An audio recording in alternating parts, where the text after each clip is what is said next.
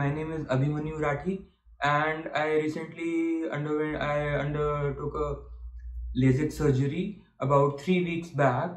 Before the LASIK surgery, I had a myopic number of minus 3.5 in my right eye and minus 2.5 in my left eye. Apart from that, I also had spherical power of minus 1.5 in the both eyes.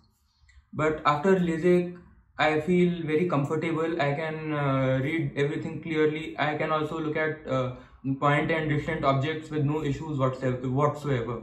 Apart from that, I also have what is called the wow effect in both my eyes and uh, it is true indeed that LASIK is a painless surgery and I am very comfortable afterwards.